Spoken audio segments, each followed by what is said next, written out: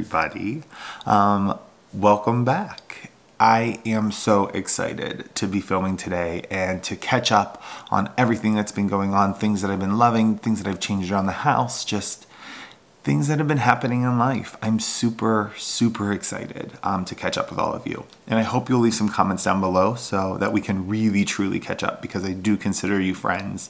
Um, and yeah, so we're just gonna go about the day, see what we get into, share some updates, get back on track with each other. As you can see from the intro, I have a brand new one. I'm also filming on all brand new equipment.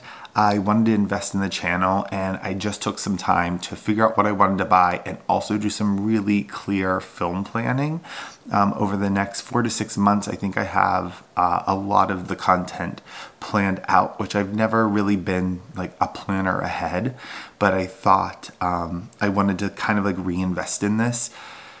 Although that we know that life gets busy and over the last couple weeks I have been swamped. I also got hit with the flu one week and food poisoning.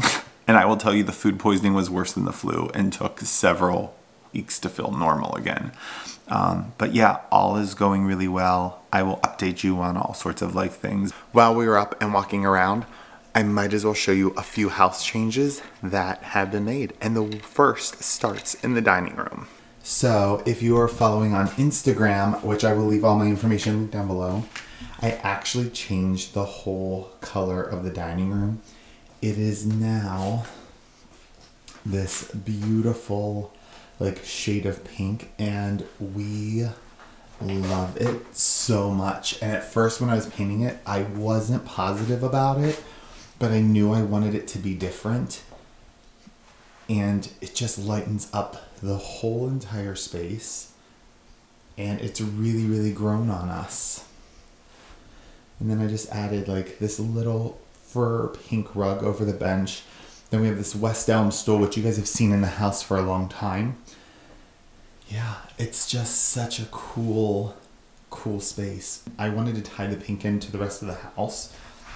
So our house is a lot of blues and grays. So I found this it's the Novogratz they make this rug and it helps tie in all the colors of the house and it's just beautiful.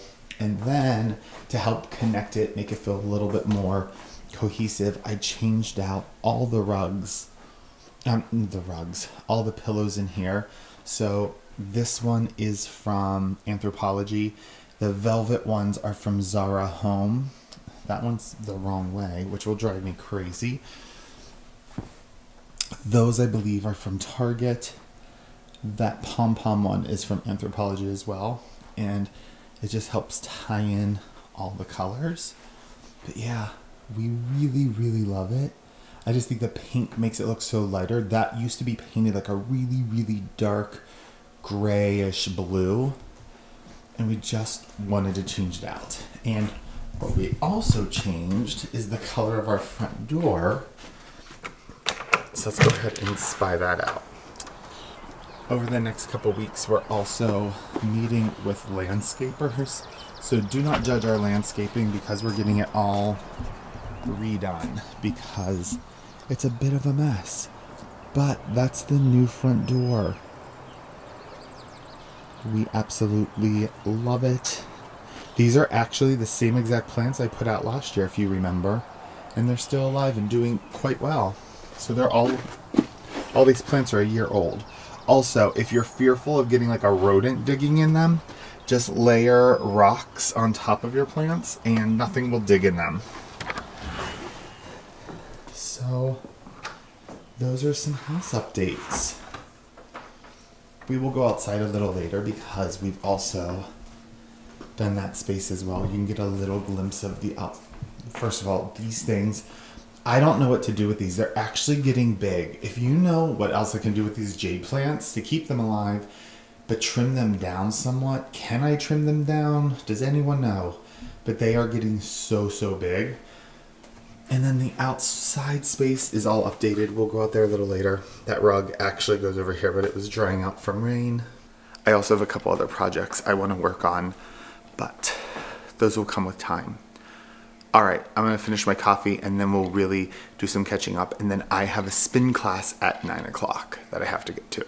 I, I just finished my coffee, but I wanted to let you know if I'm sounding really stuffy, um, it's just because my allergies are really bad right now.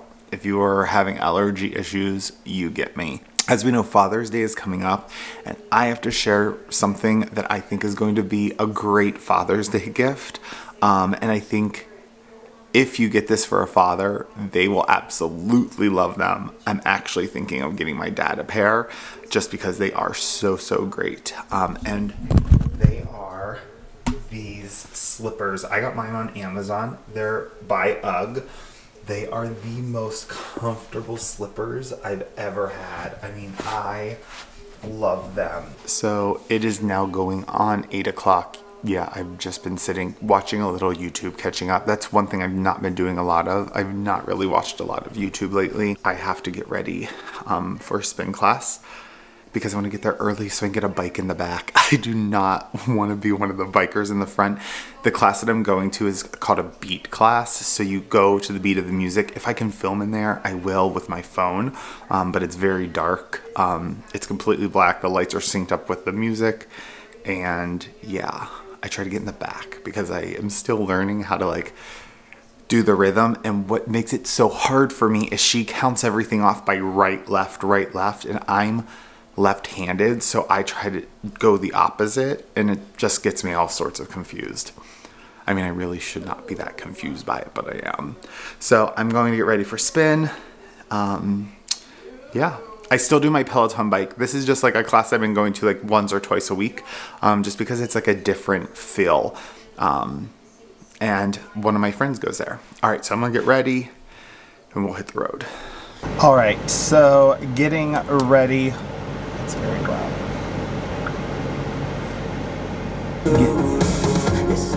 Get, getting ready to go. Um, currently listening to the Jonas Brothers album uh, it's going to be like the summer soundtrack for me.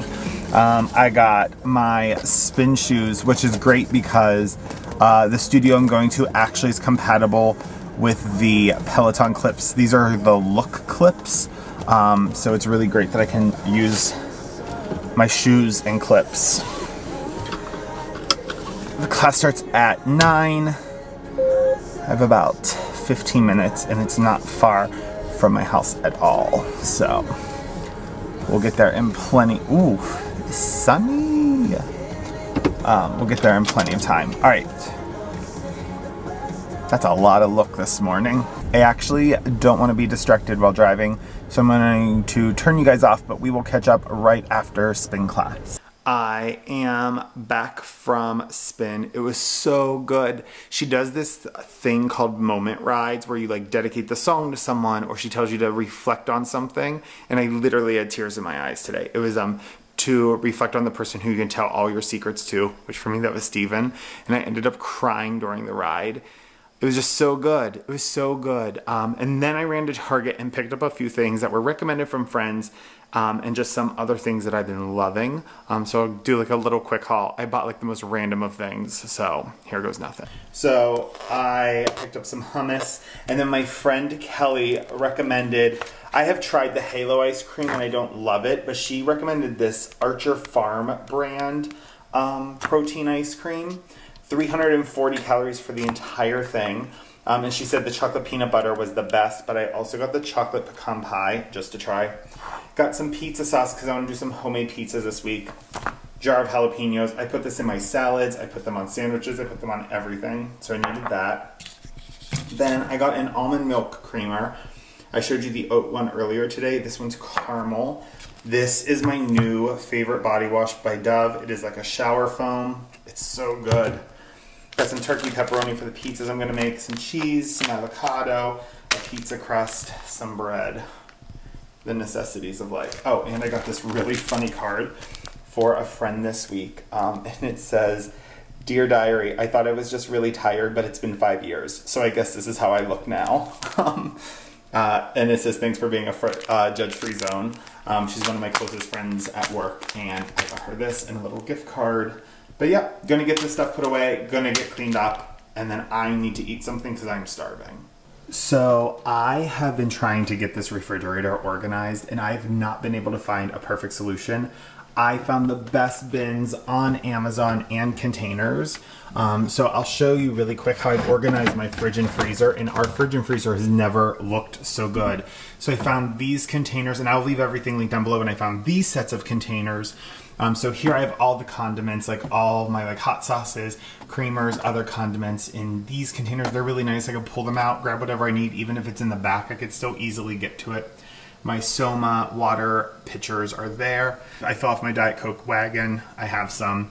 These containers, taking things out of their original package makes them last so much longer. So I have some sprouts, some uh, sugar snap peas, blueberries, blackberries, um, cut up green onion just to sprinkle on things, arugula, broccoli, watermelon.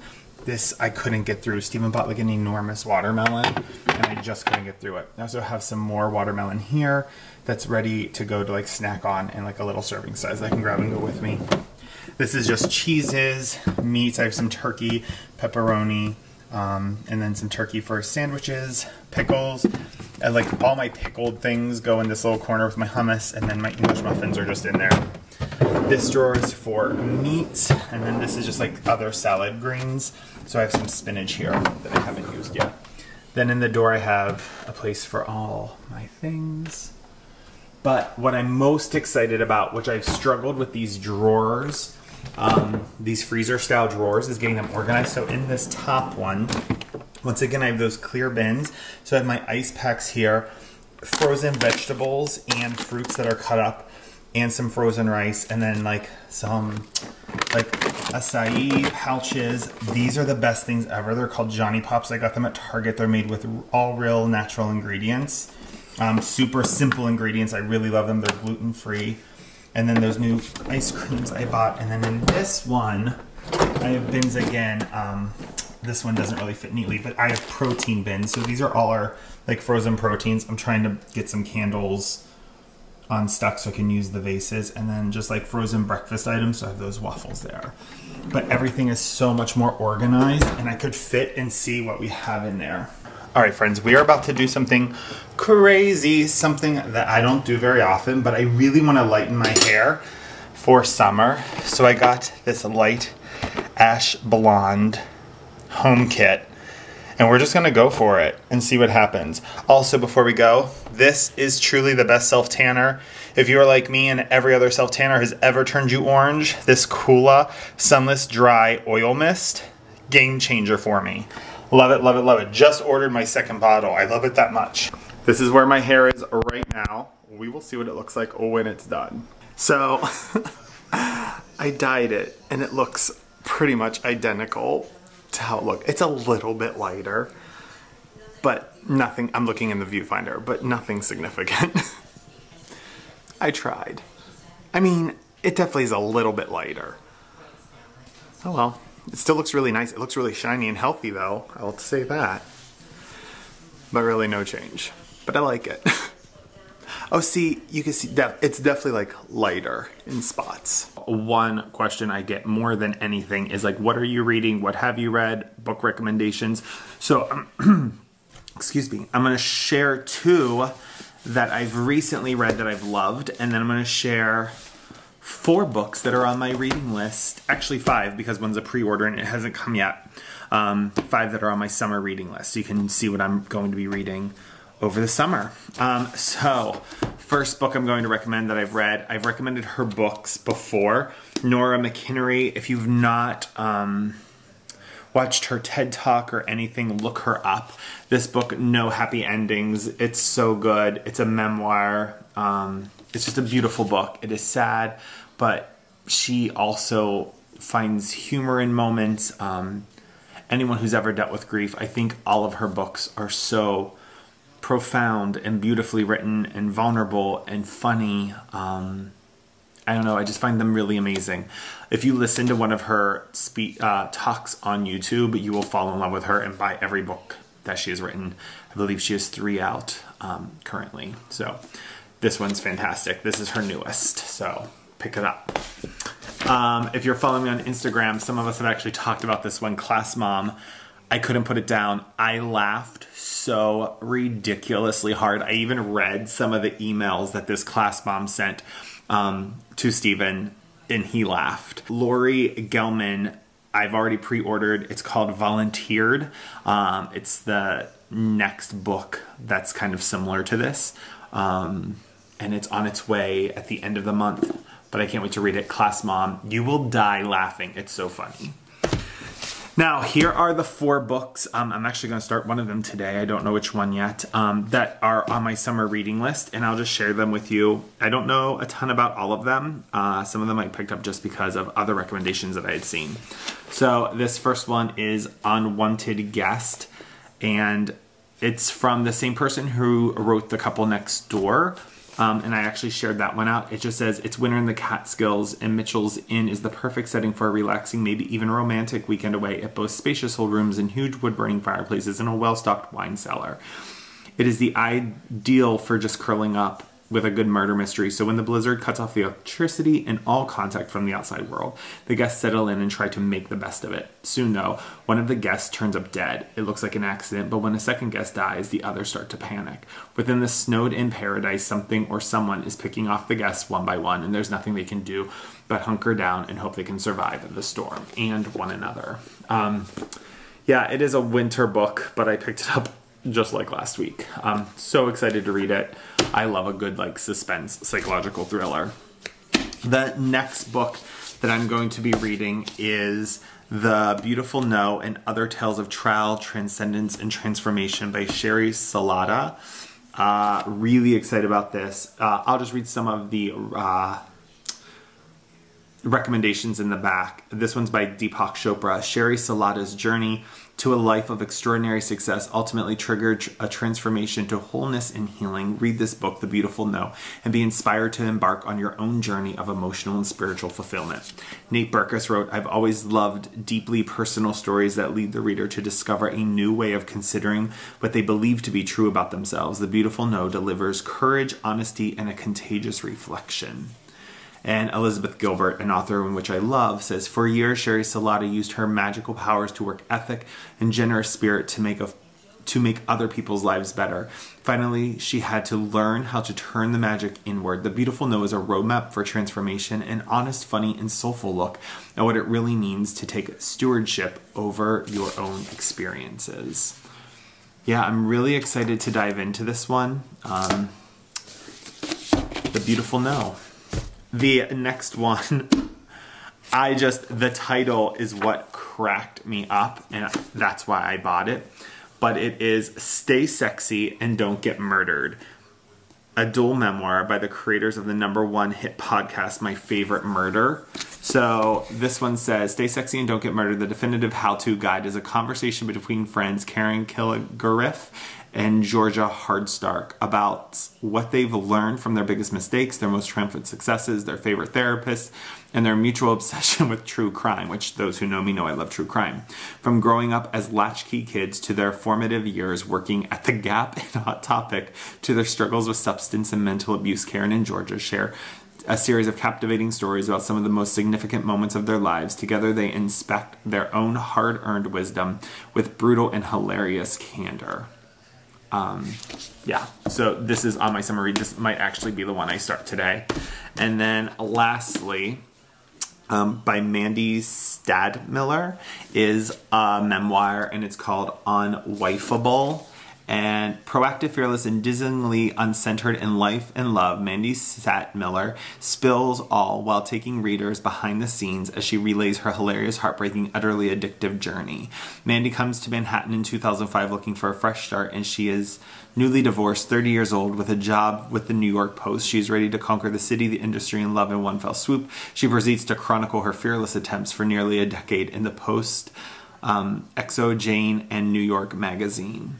But underneath the glitz and glamour of her new life, there is darker side threatening to surface. The never-ending celeb-filled nonstop party starts as thrilling but becomes terrifying. Too many blackout nights and scary decisions start to add up. She searches for the truth beneath the facade and realizes that falling in love won't fix her until she learns to accept herself.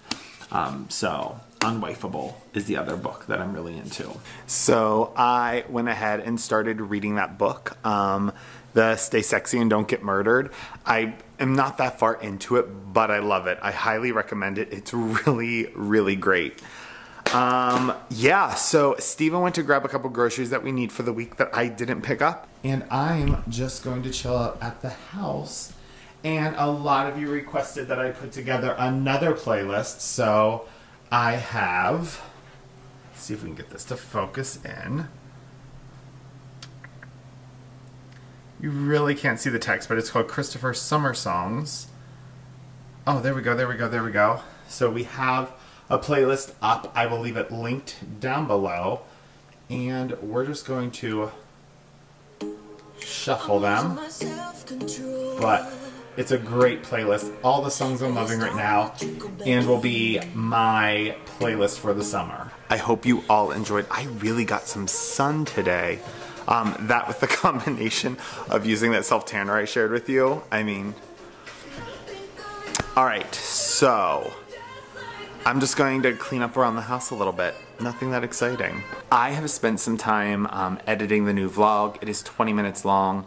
I'm still figuring out the low light on this camera, um, so bear with me. This is my first bat with it, as well as having a separate audio output and microphone. So there was a couple times where the audio got a little like hazy, so forgive me. It will get better with time. But I am excited to be back. I'm excited to have a plan moving forward. And the next video that you will see in the next week is a setup and walkthrough of this Louis Vuitton desk agenda. It, I have found a way to make this work and I absolutely love it. So my friends, it has been fun.